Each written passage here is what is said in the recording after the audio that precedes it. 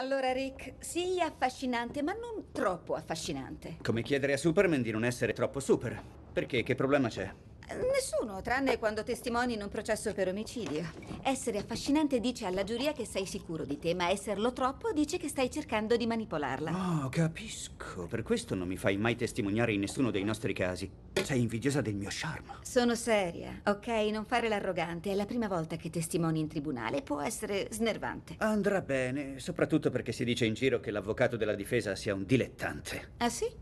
Chi è? Stan Novak. Stan, soglia d'attenzione limitata. Quello si perde nei suoi stessi controinterrogatori. sì, andrà bene. Ah, Peccato che non mi vedrai in azione. Ma io ci sarò.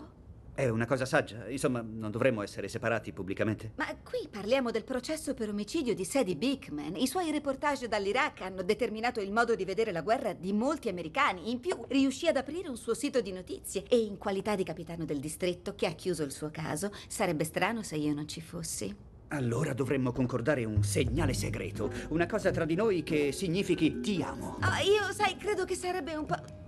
Ti serve un fazzoletto? No, è il mio segnale segreto per ti amo. Ti piace? Strofinarti il naso?